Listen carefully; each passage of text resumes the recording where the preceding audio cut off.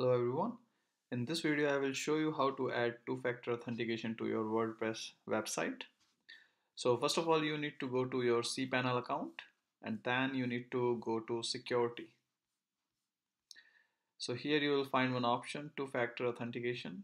Click on that. Now click on setup two-factor authentication. So uh, it will show a barcode now what we need to do next uh, we need to install one app on your mobile phone and then we have to scan this barcode. So let's see the process. So as a next step we need to install Google Authenticator on the smartphone. So on iPhone you just need to go to App Store and search for Google Authenticator. On Android phone you can go to Google Play Store and you can search for Google Authenticator so here if you can see uh, this first application I have already installed it. So you can also do the installation and then open the application. So once the application is open it will show you begin setup.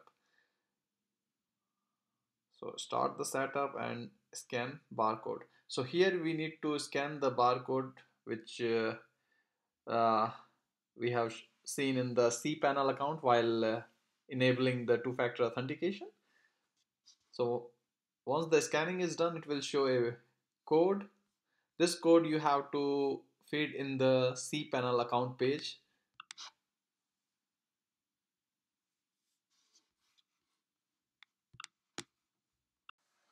So here I am uh, uh, giving that same code from our authenticator application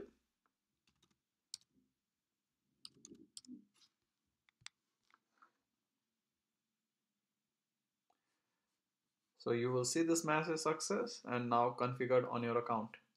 Now what you do, what you need to do next, you just need to go to your WordPress account and go to in plugins.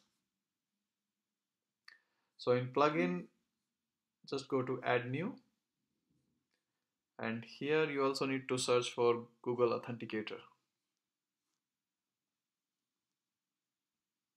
So this is the application which I, this is the plugin I have installed.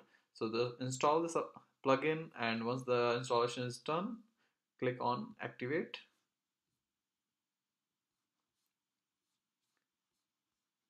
Now just uh, log out from your WordPress account and if you can see now whenever you want to log in you also need to provide the Google Authenticator code from your application. Thank you very much for watching.